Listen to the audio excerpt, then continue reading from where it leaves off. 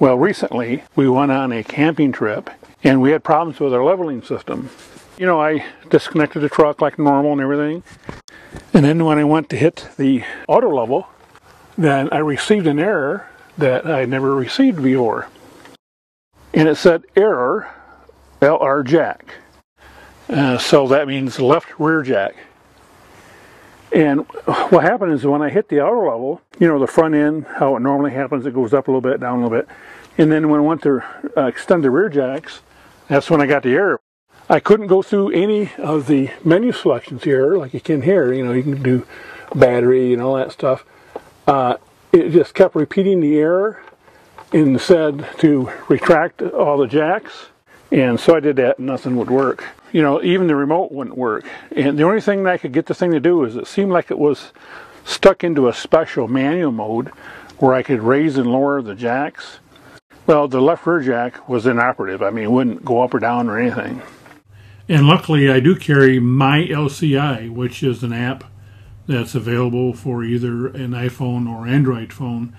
And if you don't have it, I highly recommend getting it because it has everything you need to know about any Lippert systems. I mean, there's service, there's troubleshooting, there's videos. You know, you can contact them. You can even, in certain cases, uh, do a chat with them with your app. Now, of course, the app needs to have, you know, an internet connection or a 3G or 4G connection or whatever. You know, so there is that. Luckily, I was able to get a good signal, and so I brought up this LCI app to try to figure out what was going on. So in the manual, I found the page that described the error that I was having, and it's called a special jack error code. And you'll see LCD message error, and then LR jack, and it said, uh, you know, the error at the specific jack, malfunction or loss of communication so on, and check harness connections at controller and jack, check harness for damage, check fuses, and repair or replace as necessary. Oh goody. Check the fuse, fuse okay. Then when I checked the wiring, this is the uh, main console, and so when I started looking at the wires, um, I noticed this red wire right here is poking out. I don't know if you can see it, but let me uh, let me disconnect it for you. This is the main power cable to that particular jack, and I noticed some silver showing there. And that means that this connector is not pushed all the way in. So that's what was happening. This connector wasn't making contact. And if I pull it out, um, see it won't stay. And they're supposed to lock in there. And by the way, when you start messing with connectors and start taking things apart and stuff, I highly recommend using a camera to do your documentation. Luckily, though, I was able to push the wire back into the connector and it would stay without, you know, falling out. So I at least was able to get the thing remedied and get me back home.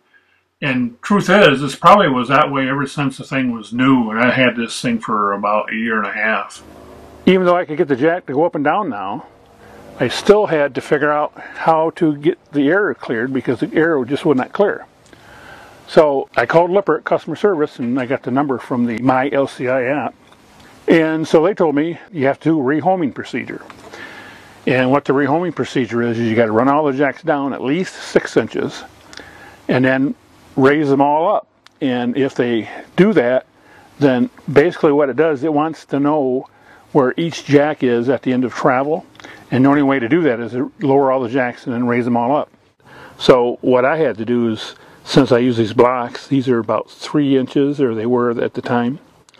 So I had to hook it back up to the truck, remove the blocks, raise these up, and I just left it hooked to the truck. Raise these up, lowered everything all the way down, front and back, and then hit the retract button there and hold it. And you hold that retract button down until all the jacks raise and stop. And when you do that, then the home procedure should be complete. You should be able to turn it off and back on and clear the error. So when I checked with Lippert, all they have is the rear jack harness here. You can't buy just the connector. And the harness itself is like $190.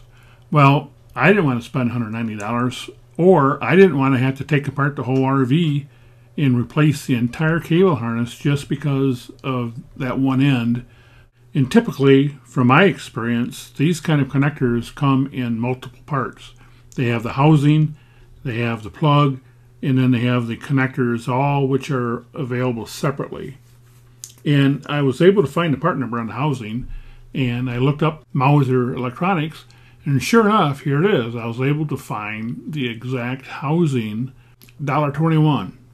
So I bought several of them, and uh, sure enough, they're the exact housing that I needed.